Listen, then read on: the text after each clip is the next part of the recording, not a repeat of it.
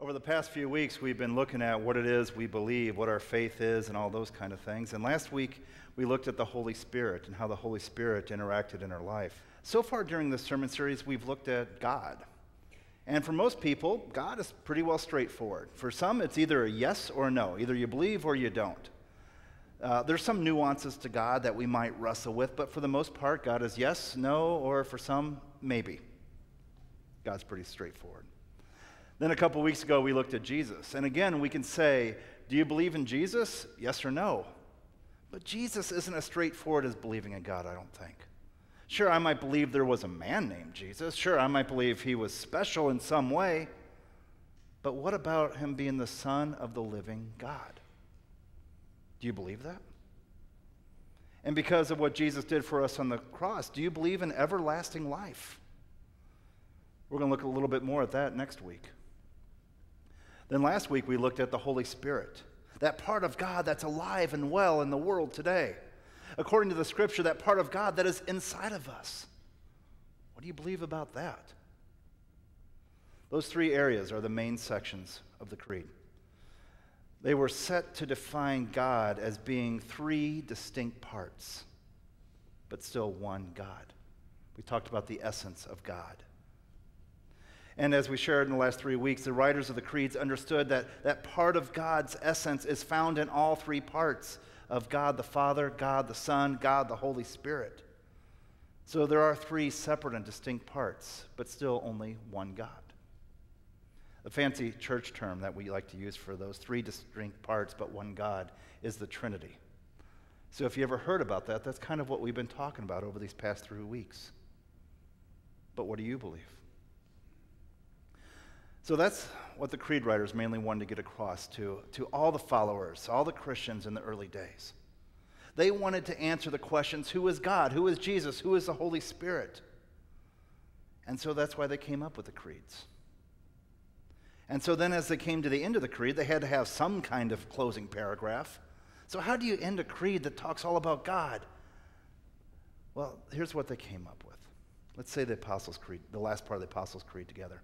I believe in the Holy Spirit, the Holy Catholic Church, the communion of saints, the forgiveness of sins, the resurrection of the body, and life everlasting. Amen. Basically, they tried to get everything they could and just shove it in that last paragraph.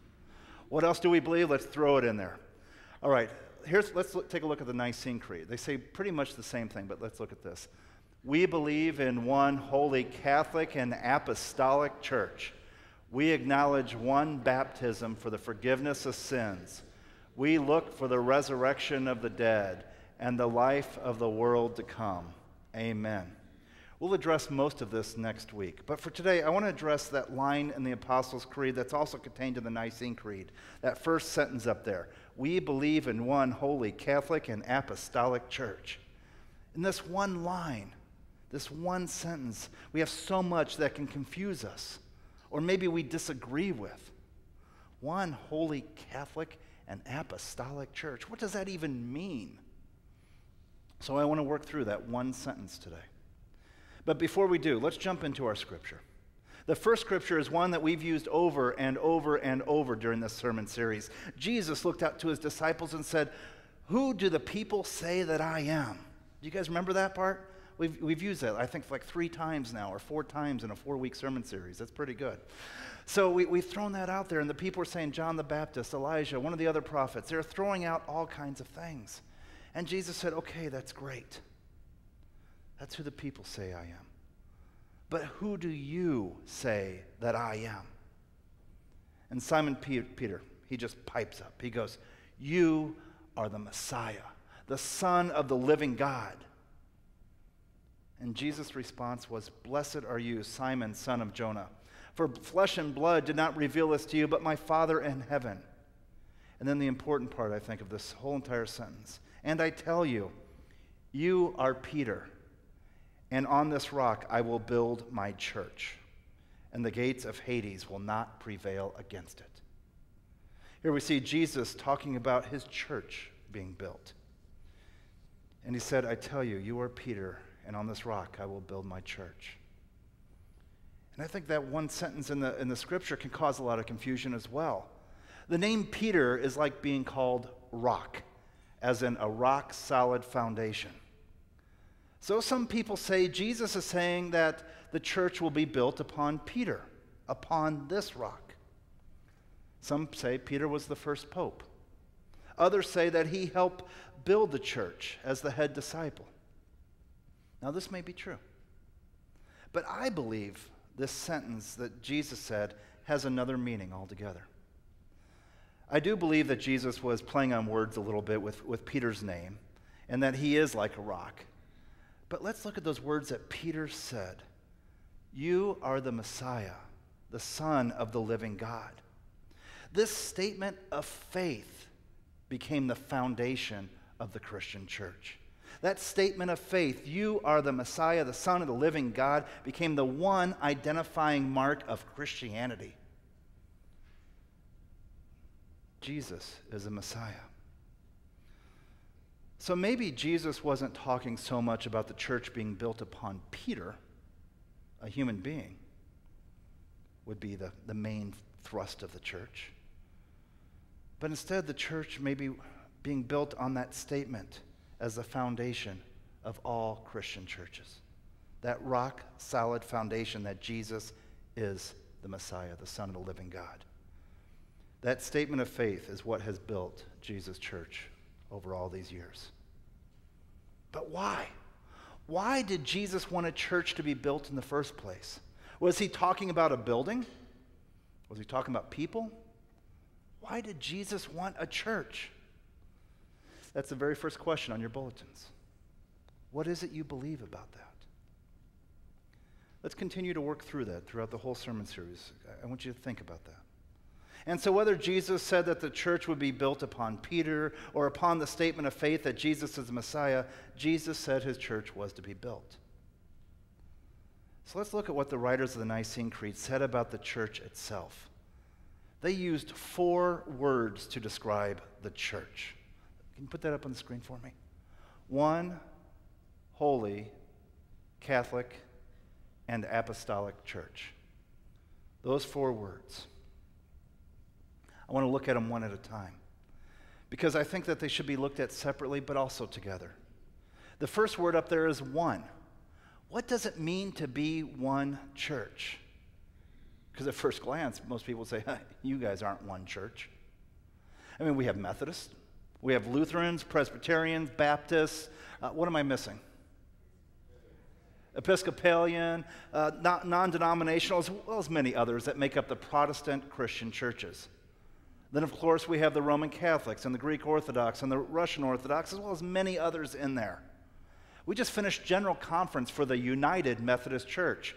And if you watched any of that, you'd say they're anything but united. They're anything but one. So, how can we be called one church? Well, it starts off with Peter's proclamation of faith. Those who are one with Christ believe that Jesus is a Messiah the Son of the living God. So, to be part of the one church, we, we have to first have faith that Jesus is the Son of God. That foundation of faith is what brings us together as Christians throughout the world. We're one in faith in Christ. So let's see what the Apostle Paul had to say about being one. I think Paul probably said more about the church than any other scripture writer. In Ephesians 4, this is what he wrote There is one body, there is one spirit. Just as you were called to the one hope of your calling one Lord, one faith, one baptism, one God and Father of all, who is above all and through all and in all. One body, one baptism. Through the baptism of water and the Holy Spirit, we were baptized into the one body of believers in Jesus Christ. And that's why when uh, Ellie was baptized, it isn't just Ellie and her family, or just Ellie and God, or just Ellie and Green Valley United Methodist Church. It's Ellie and all the believers of Jesus Christ everywhere throughout the world. One body. So Paul uses the language of referencing the body as, in reference to all the believers. He, he talks about it a whole lot. He says that as one group of believers, as one body of believers, We're all part of the body of Christ. The group of people who have faith and belief in Jesus Christ as the Messiah. We're one in our foundation of our faith. No matter when we were born, no matter where we lived, no matter anything at all about us, if we believe, we're part of that body. Our second scripture goes right to the heart of this. Paul uses the analogy of a human body.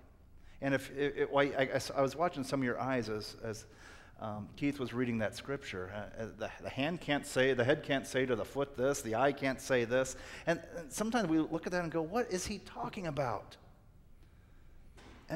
What he's basically saying is every single part of the body is important.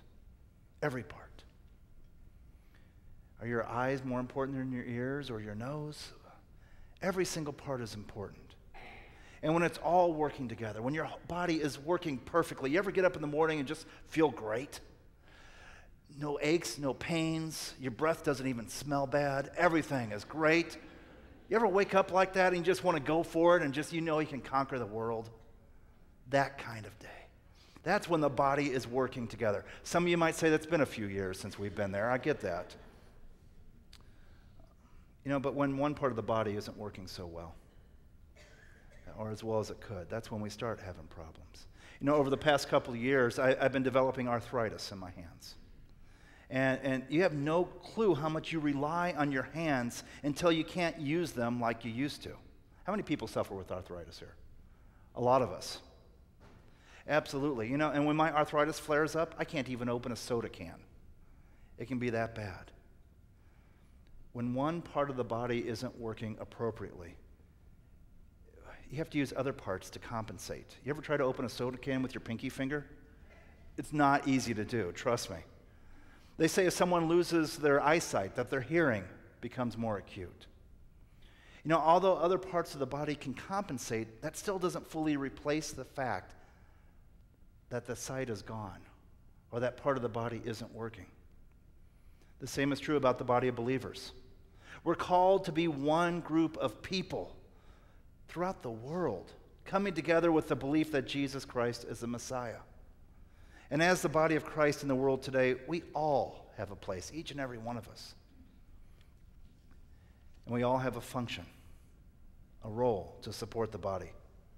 That's why we need to be coming together to build up the body. In everything we do, we need to be coming together to build it up, to make it stronger. In other words, to be in ministry together. If one part of the body isn't doing its part, the other parts have to compensate but can never replace that one failing part. So, what's your role in the body of believers? You know, think of the body of believers here at Green Valley and, and, and throughout the world. What's your role? How do you lift up? How do you build up the body? How do you make it stronger? Are you involved as part of the body of believers in Christ? As we say in our communion liturgy, are we truly one in Christ, one with each other, and one in ministry to the entire world? How do we lift it up? How do we make it stronger? Do we hold up the, the body of believers with our prayers, our presence, our gifts, our service, our witness? That's what it means to be a church. What is it that you believe about being one? All right, let's move on to our second word. This is a word a lot of people wrestle with holy. All of you who are holy, raise your hand. All right, that's, you know, Shirley, raise your hand. Good for you, because you are holy, Shirley. Because I want to describe the words holy here for a second. I will explain it to you. You know, this word holy, it, it, gives us trouble. Absolutely, it does. And, and this word holy, because we think the holy church, are you kidding? How many scandals have we had over the past 10 years, let alone 2,000? Scandals. We've had infighting, we, we've had corruption. so we could easily stand back and go, no, the church is not holy. But that answer comes from the understanding, not from not understanding fully what the word holy means. Holy simply means to be set apart. That's it. Doesn't mean perfect. God has ordained the church to come together as a community, as a body of believers, to continue the work of Jesus Christ in the world. God continues to work through the church as God's agent in the world. This is what makes it a holy church, set apart to be the hands of, of Christ in the world today. That's it. It doesn't mean we're perfect. Far from it. I look at church more as a hospital, a place where the people who aren't perfect can go. So, do you believe the church is holy? Do you believe God continues to work through the church? Do you believe that the church has been called to be set apart? That's the second question on your bulletins. What do you believe? Okay, our third word Catholic. That's another one we wrestle with. I can't tell you how many times I've had people come up to me and ask, Why do we say that we believe in the Holy Catholic Church? Aren't we Methodist? Yes, we are. We're United Methodist, but Catholic in this sentence does not mean Roman Catholic. Yes, we believe there is a Roman Catholic Church right down the street around the corner, but that's not what this sentence is saying. Here, the word Catholic is derived from the Greek word for universal. When used here in the Nicene Creed as an adjective, Catholic means that in the church, the wholeness of the Christian faith, full and complete, all embracing, with nothing lacking, is proclaimed to all people without excluding any part of the faith to any class or group of people the church, the universal church, the church that is one in faith in Christ, the church that is set apart. This church is available to anyone and everyone, everywhere. In Galatians, Paul again wrote, There is neither Jew nor Greek, there is neither slave nor free, there is neither male nor female, for you are all one in Christ Jesus no matter what language we speak, no matter our gender, our race, we are all one. The church, the universal church, open to everyone. You almost feel like there should be an amen at the end of that, shouldn't there be? Can I get an amen? All right, there we go. The next question on our bulletins asks ask you what you believe about the one holy Catholic Church. Do you believe it? Are you part of it? Are you part of the believers? in Christ Jesus? Are you part of the Holy Catholic Church? All right, let's jump to our last word apostolic. Now, there's a fun word. We love these big church words sometimes. For some people, they believe this word apostolic in the creeds means what's called apostolic succession, which means that every bishop and therefore clergy can trace the laying on of hands upon them all the way back to the original apostles that the apostles laid their hands upon people who laid their hands upon people, all the way down to Pastor Antoinetta and Pastor Mark and, and everyone else. Apostolic succession. Okay, maybe, maybe not. I think the word apostolic used here means something a little deeper. I think the writers of the Nicene Creed wanted to hold up the teachings of the apostles, basically the New Testament. That we're a group, a church, who try our best to follow the teachings of the apostles, who try our best to follow the scriptures. We're a church who follows the New Testament. Not that we don't follow the Old Testament, but it was important for the writers of the Nicene Creed that the people realized that the scriptures in the New Testament were just that holy scriptures. I believe that's what they were saying when they said apostolic church. There were people who hold supreme and follow the teachings of the apostles. We're a group of people united throughout the world with one basic tenet of faith the one Peter himself proclaimed that Jesus is the Messiah, the Son of the living God. That this group of people, through their faith, come together to be set apart for God's work on the earth. Not that they're special, not that they're perfect, but they come together to make a difference in the world in the name of Jesus Christ that these people share God's word, do God's service to anyone and everyone universally without exclusion. Everyone is allowed to be part of the body of Christ. And then these people try their best to follow the teachings of the apostles. That these people who aren't perfect will continue trying to follow the scriptures as they take their next step in their faith journeys. That's what I think the creeds were saying about one holy Catholic, and Apostolic Church. But again, this isn't a sermon series called What Did the Creed Writers Believe? So, what do you believe? Do you believe in Jesus Christ as the Messiah, the Son of the living God?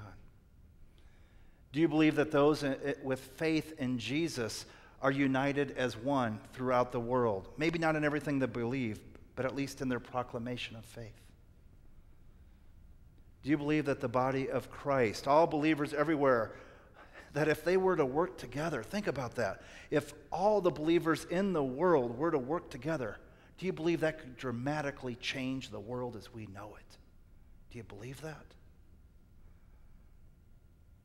What if the believers just in this church, in Green Valley United Methodist Church, the 500 plus that are part of this church, active part of the church, if we were all to work together for one common goal, do you think there's anything that could come against that, that could stop it? As Jesus said, even the gates of Hades would not prevail. Think about it if we all worked together. What if we were truly one holy Catholic and apostolic church? What could we do? How could we make a difference in the name of Jesus Christ? What do you believe could happen? Would you pray with me? Gracious and loving God, even though we know the church is not perfect, we know that faith can be perfect through you, for you are perfect. God, I lift up the people of this church. Even though we might not feel like we're holy, we are through you. We are set apart to make a difference. So, God, I, I, lift up all the believers of Green Valley United Methodist Church and all those who are connected to us. That, God, we might at some point come together as one to make a difference in this world. That we can be your hands and feet here on earth. God, help us to be one with Christ, one with each other, and one in ministry to the entire world until that time that Christ comes back in final victory. God, I thank you for this church and its people as we are part of the global church of Jesus Christ. For it's in his name we pray. Amen.